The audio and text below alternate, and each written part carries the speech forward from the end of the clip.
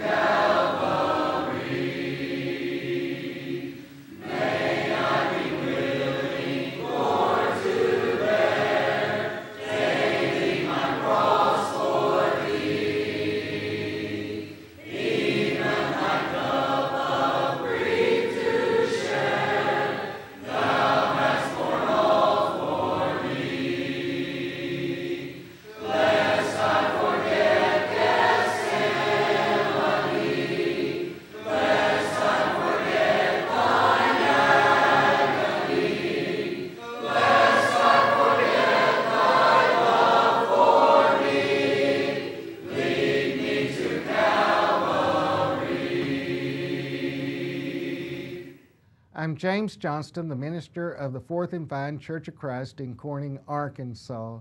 We're glad that you joined us. The program is brought to you by the area churches of Christ that are listed at the end of the program. Please visit or contact them if you have a Bible question. Our lesson today is entitled God's Solution for Our Struggles, Salvation. In 1 Corinthians chapter 12, verses 12 and 13, it says, for as the body is one, it has many members, but all the members of that one body, being many, are one body, so also is Christ. So, when we are baptized into Christ's death, we are made part of the body, which is the church. There was a lady that her husband had become the president of a bank in a big city and it was back in the olden days, and, and she wanted to go to Europe to buy some material for her curtains. And her husband said they could. That day, you had to go on boat. There wasn't planes and stuff like that. Uh, and so she went by boat. She got to England and she found this Gobelin tra- tapestry. And in US dollars, it was $1,000 for that material. And so she sent a telegram to her husband. And her husband uh, got the telegram. It said it was $1,000. And he called the telegraph office and said, You send her a message. And he says, No, the price is too high. Well, whenever the telegraph office got the message to her, and she went ahead and bought it. And she came home and, and she showed him the beautiful, beautiful material, and it was over a thousand dollars. And he was looking at her. I, I, t- I thought I told you not to buy it. And she pulled out the telegraph, and this is what it said No price too high. And so they had taken what he, he said and shortened it to no price too high, thinking that any amount that she would spend would be right. Well, he accepted her, he loved her, and they went on and, and made do. But you got to think about our salvation. No price too high. I think that that's the, what we can say about it because Jesus gave his life on the cross. He died on the cross for our sins. In Matthew 28, beginning in verse 18, it says, And Jesus came and spoke to them, saying, All authority has been given to me in heaven and on earth. Go therefore and make disciples of all the nations, baptizing them in the name of the Father and of the Son and of the Holy Spirit, teaching them to observe all things that I have commanded you. And lo, I'm with you always, even to the end of the age. Amen. So he was basically saying, Go, teach, baptize. He's called it make disciples, and then teach them again the things that I've taught them. He says the same sort of thing and as recorded in Mark chapter 16, verses 15 and 16. And here's what he says there. And he said to them, Go into all the world and preach the gospel to every creature. He who believes and is baptized will be saved, but he who does not believe will be condemned. So, in those two verses, he says you've got to believe and be baptized in order to be saved. And he said both of them are important. And so we find our setting uh, here talking about the day of Pentecost. And baptism in the, in the preaching of Peter began on the day of Pentecost, as we find recorded in Acts 2, beginning in verse 22. He says, Men of Israel, hear these words Jesus of Nazareth, a man attested by God to you by miracles, wonders, and signs which God did through him in your midst, as you yourselves also know, him being delivered by a determined purpose and foreknowledge of God, you have taken by lawless hand and have crucified and put to death, whom God raised up, having loosed the pains of death, because it was not possible that he should be held by it. Therefore, let all the house of Israel know assuredly that God has made this Jesus, whom you crucified, both Lord and Christ. Now, when they heard this, it says they were cut to the heart and said to Peter and the rest of the apostles, Men what, and brethren, what shall we do? Then Peter said to them, Repent and let every one of you be baptized in the name of Jesus Christ for the remission of sins, and you shall receive the gift of the Holy Spirit. We know that the, he said more words to them. Here's what he said, continuing in verse 39 For the promise is to you and to your children, that's generations to come, and to all who are far off as many as the Lord our God will call. And with many other words, he testified and exhorted them, saying, Be saved from this perverse generation. Then those who gladly received his word were baptized, and that day 3,000 souls were added to them. Now that's amazing. The first sermon on the day of Pentecost, the people heard, they repented, they were baptized into Christ, their sins were washed away, and we find the beginning of the church. And so we symbolize the death and the burial and the resurrection of Jesus Christ in the waters of baptism as we are buried under the water and raised to walk in newness of life. That's the resurrection. And it's always an immersion in the Bible. In Acts 2 and 47, it says, praising God and having favor with all the people, and the Lord added to the church daily those who were being saved. Who did the adding to the church? The Lord did. He was writing their names in the book of life. We find that in the book of Revelations, but he says there the Lord is the one who adds people to the church. Number two, baptism at the teaching of Philip. In Acts chapter 8 and verse 26, it says, Now the angel of the Lord spoke to Philip, saying, Arise and go to the south along the road which is down from Jerusalem to Gaza. This is the desert.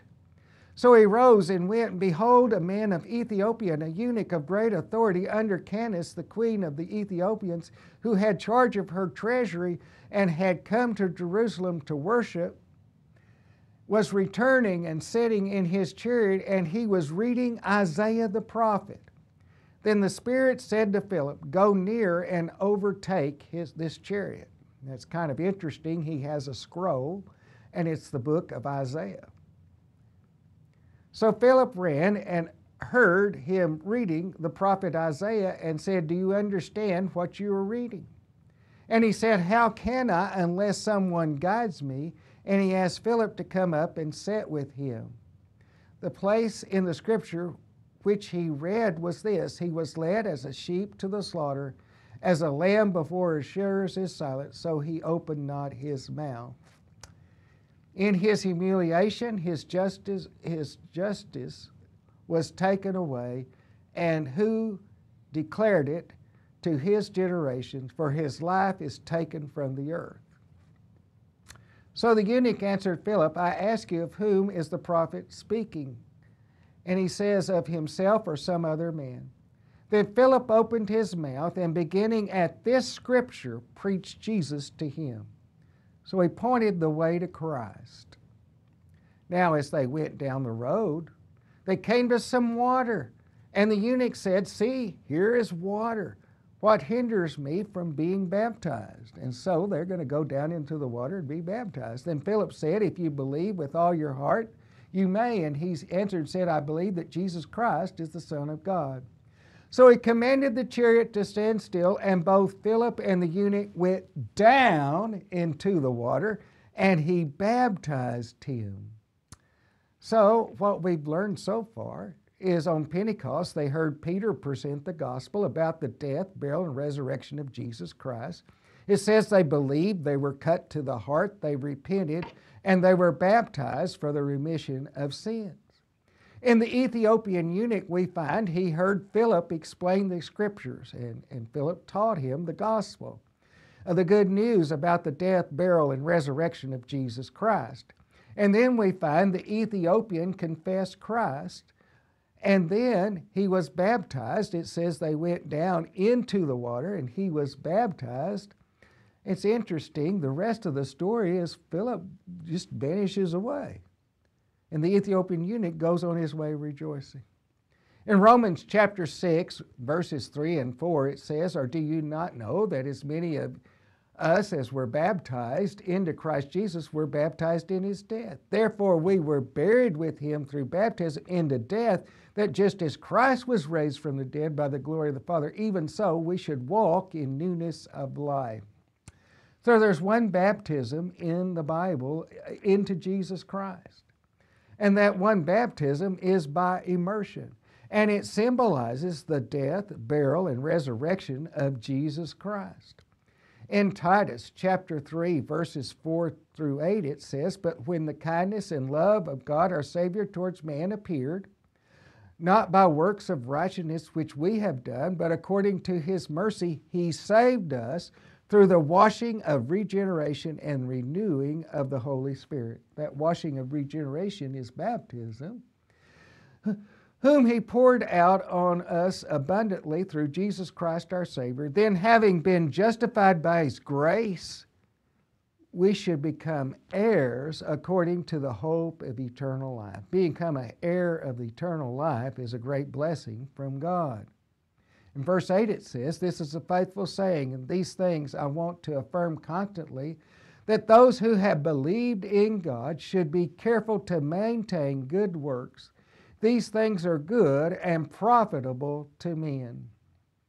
So, in being baptized, we are not the one working, but rather it is the Lord who is working when we submit to the obedience of faith in baptism.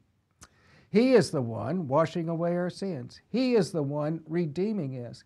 He is the one who justifies us because of the grace and mercy of Jesus Christ to die on the cross for our sins. Number four, He is the one granting forgiveness of sins. And number five, He is the one giving us the new birth, that is, the recreating us so that we can walk in newness of life. Number six, He is providing union with Christ, which is part of the kingdom, which is part of the church. And number seven, He is giving one, He is the one giving this Holy Spirit as a gift to us. If you're not ready to leave this life without Jesus, you will not inherit the kingdom of God. Would you like to obey His will? I hope so. If so, you need to contact one of the churches at the end of the program and talk to someone about baptism. Now let's look at the conversion of Saul, who became Paul. Saul was a persecutor of the Christians in Jerusalem. And Acts chapter 9, Saul journey begins to Damascus to persecute the church there. And it says there in Acts 9, beginning in verse 3, as he journeyed, he came near Damascus, and suddenly a light shone from heaven, and he fell to the ground and heard a voice saying, Saul, Saul, why are you persecuting me? And he said, Who are you, Lord? Then the Lord said, I am Jesus, who you are persecuting. It is hard for you to kick against the goads. So, trembling and astonished, said, Lord, what do you want me to do? Then the Lord said to him, Arise and go into the city, and it will be told you what you must do. And for three days, without sight, and neither he neither ate nor drank. Now there was a certain disciple at Damascus named Ananias, and to him the Lord said in a vision, Ananias, and he said, Here I am, Lord. So the Lord said, Arise and go to the street called Straight and inquire at the house of Judas for one called Saul of Tarsus. For behold, he is praying. And in a vision he has seen a man named Ananias coming in and putting his hand on him so that he might receive his sight. Then Ananias answered, Lord, I have heard many things about this man, how much harm he has done to your saints in Jerusalem. He asked an honest question. And here he has authority from chief priests to bind all who call on your name. But the Lord said to him, Go, for he is a chosen vessel of mine to bear my name before the Gentiles, kings, and the children of Israel, for I will show him how many things he must suffer for my name's sake. He says he was a chosen vessel that God had chosen. In verse 17 of chapter 9, it says, And Ananias went his way and entered the house, and laying his hand on him, said, Brother Saul, the Lord Jesus, who appeared to you on the road as you came, has sent me that you may receive your sight and be filled with the Holy Spirit. Immediately there fell from his eyes something like scales, and he received his sight at once, and arose and was baptized. When Paul recounts this later on in Acts chapter 2, he tells the whole story again, but he puts the words of Ananias in a different form and in a different fashion. Here's what he says Ananias says to him He says, And now why are you waiting? Arise and be baptized and wash away your sins, calling on the name of the Lord. So we see in this that Saul had been praying, he had been fasting, but his sins were still with him until he had the sins washed away in the waters of baptism. So, Saul's conversion, he, he prayed and fasted, but his sins were not washed away until he was baptized. We too must be baptized in order for our sins to be washed away. And I pray if you need to be baptized, you will take care of that in, in a very soon amount of time. In 1 Corinthians chapter 12, in verse 13, it says, For by one Spirit we are all baptized into one body, whether Jews or Greek, whether slaves or free, and have all been made to drink into one Spirit. So there's one Lord, one faith, one baptism, one God over all. And it's saying here we're all in one Spirit, we're baptized into one body, whether, which is the body of Christ. In Galatians chapter 3, and verse 27, it says, For as many of you as were baptized into Christ have put on Christ. The idea of putting on Christ is similar to putting on a garment. You see, you were in your sin, you were without Christ, but when you were baptized, you put on Christ. Symbolically, in ancient times, people used to take off the clothes that they were baptized on and put on new white robes to symbolize the purity that they had now with Christ because Christ had washed away all their sins. But we have a change in our life, a dedication in our life to serve the Lord. In Colossians chapter 2 and verse 12, it says, Buried with him in baptism, in which you also were raised with him through faith in the working of God who raised him from the dead. The resurrection of Jesus Christ is a very important event in the Bible. And because he was raised, we know we too can be raised as well. We need to be obedient to Christ. It says we needed to be buried with him in baptism so that we can be raised with him. In 1 Peter chapter 3 and 21, it's talking about Noah in the days of Noah. It says there were eight souls that were saved on the ark. And that's not very many. Think of all the people that in the world that were washed away in the waters of the flood. But Noah was spared in the boat, the Noah's ark. And it says here, there is an antitype which saves us, and it's baptism. Not the removal of the filth of the flesh, but the answer of a good conscience towards God through the resurrection of Jesus Christ. Jesus Christ was raised, and he says baptism now saves us. We thank you for listening to us today, and I want to reiterate a few more points about some of the things that we have said but it is important that you understand that God has a plan for us. And God wants us to be His children, walking in the paths of righteousness and living for Him in the things that He has said. We find uh, in Romans chapter 6, just a second here, let me find it. We find there are many passages in the Bible, but Romans chapter 6, if you read through that, it talks about baptism. And it talks about how we died with Christ and how we live with Him and how we're raised with Him. The day of Pentecost was a, a mighty day to call people to come to Christ. And, and thinking about what Jesus had done with Him, let's go back to the words of Mark chapter 16, verses 15 and 16. And He said to them, Go into all the world and preach the gospel to every creature. He who believes and is baptized will be saved, but he who does not believe will be condemned. We need to realize that there is something that we need to do in order to be right with God, and that includes both repentance and baptism. You know, Jesus spoke many words on earth, but probably the Great Commission is the one that he has the most importance for us today. And he came and spoke to them, saying, All authority has been given to me in heaven and on earth. He had all authority in heaven. He's been given all authority on earth. He is now with God.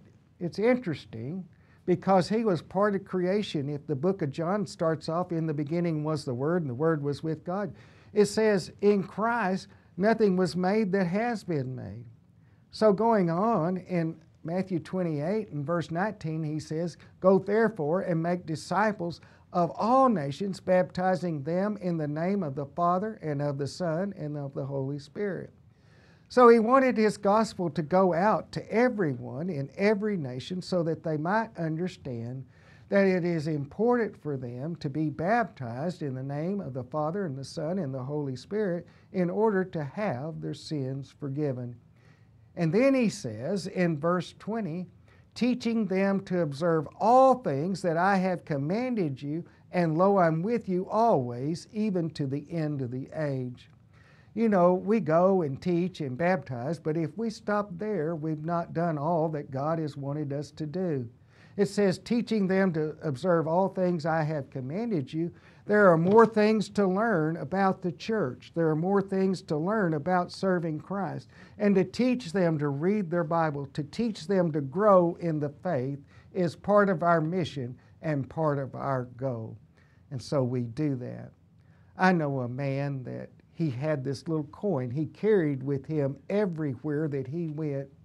And on that little coin, it says, I am with you always, even to the end of the age.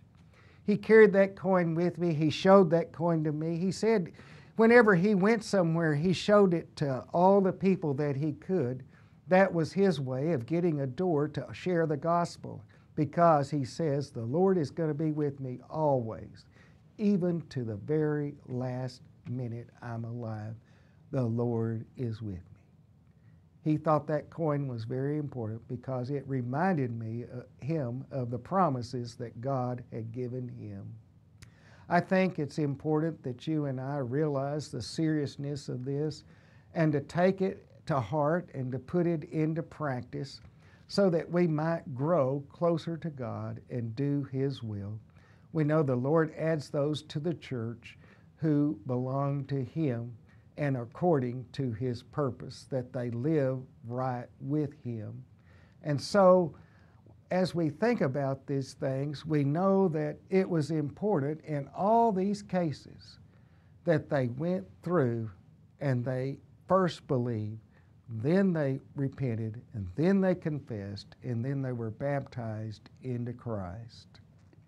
In Titus 3 4 through 8, it says, But when the kindness and love of God appeared, uh, of God, when the kindness and love of God towards men appeared, that was Jesus Christ coming to earth to dwell here as a man. Not by works of righteousness which we have done, but according to his mercy, he saved us through the washing of regeneration, the renewing of the Holy Spirit. That's what Jesus did for us. He died on the cross for our sins. He gave his life on the cross for our sin. He was what extended mercy to us, not that we would ever deserve salvation, but that he gave it freely so that we could have everlasting life. In verse 6, it says, Whom he poured out abundantly through Jesus Christ our Savior, that having been justified by his grace, that we should become heirs of the hope of eternal life. This is a faithful saying, and these things I want to affirm constantly that those who believe in God should be careful to maintain good works. These things are good and profitable to men. It is a wonderful thing to live for God. It is a wonderful thing to affirm constantly that we believe in God. It is something that we ought to share and be willing to share the gospel with others. Today, I tried to do that. I hope you understand. Thank you very much for listening. If you have a Bible question, would like to receive a free Bible correspondence course, would like a copy of two free books, please contact the Nettleton Church of Christ. Speaking the Truth in Love is brought to you by these area churches of Christ.